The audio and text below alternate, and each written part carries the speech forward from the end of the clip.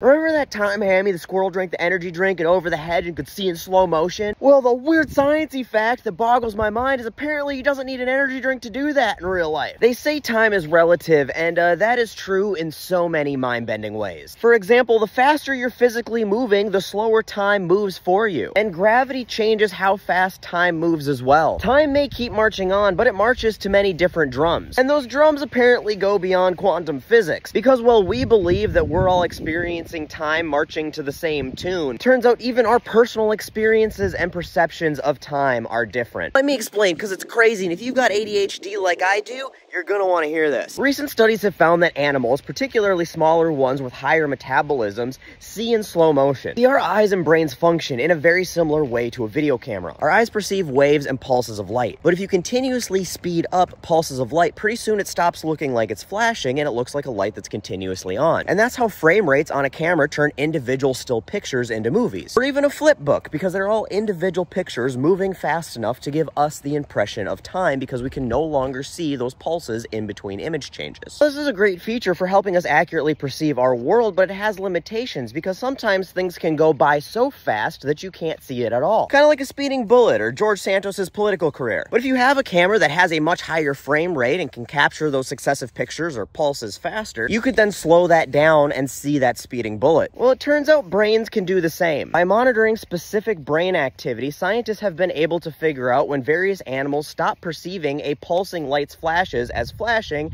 and just a continuously on light. Their brain's frame rate, as it were. Some animals, like mites, cats, and dogs, and even swordfish, can see in a higher frame rate than we can, or can see in slow motion. So if you ever wondered why it's so hard to swat a fly, this is part of the reason why. Flies move a little faster than our frame rate can effectively handle. What's even more interesting is that these animals can dial it up and down. When they're in a relaxed state, they can view the world at a relaxed pace. But when they need to go hammy, their sight can speed up and the world they need to perceive slows down. Just like when Neo needs to dodge bullets in the Matrix. So then the question is obviously, do people have a similar superpower? And while there hasn't been enough research yet to say for sure, there's certain theories that say we do. For example, if you've ever been in a car accident or some sort of traumatic event, you may have felt like you were seeing and experiencing it in slow motion. Just something I can confirm from personal experience because I haven't wrecked many vehicles, but the ones I have wrecked, I've wrecked right. It ain't a wreck unless it's leaving on a wrecker, and every time that's happened to me, it's been a frame by frame experience. So it wouldn't be unfair to hypothesize that this may be very similar to what other animals experience, it's just theirs might be a little bit more under their control, whereas we require some oh shit to activate our slow-mo.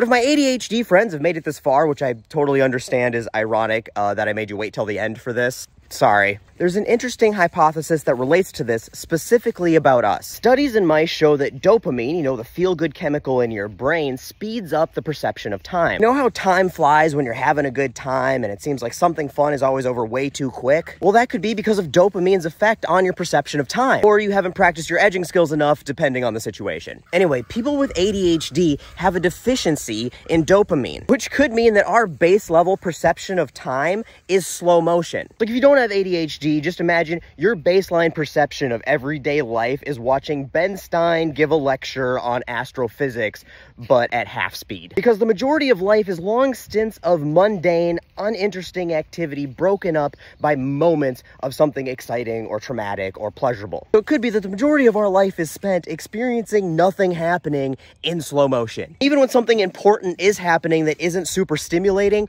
we're still experiencing it in slow motion, hypothetically. And this apparently could be why meth works to treat ADHD. Adderall, sorry. So this helps explain why it seemed counterintuitive that giving a stimulant to somebody who's already on overdrive all the time would slow them down. The hyperactive part could come from our perception of the world being slow, not us being fast. And by giving us a stimulant, it speeds up our perception of time, which slows us down in the world. It's probably why I drink a pot of coffee every day and feel fine. And it's probably why so many people with ADHD are constantly seeking out those instant gratification dopamine highs. And it's why we bounce all over in that pursuit and why we're agitated when we don't have it and why it's hard to focus on what you're saying or what we're doing. It hasn't been scientifically proven, but I think it's an excellent hypothesis. It's funny to think about the reality of the fact that when Fry spent his stimulus trek to drink 100 cups of coffee coffee instead of getting to that 100 cup and seeing everything in slow motion and saving the day, he probably just would have missed it altogether because it would have flown right by. And the fact that some species have the superpower of selective slow-mo sight and we may see that ADHD's severe slow and steady sense of seconds is stifling and steadfast, well, that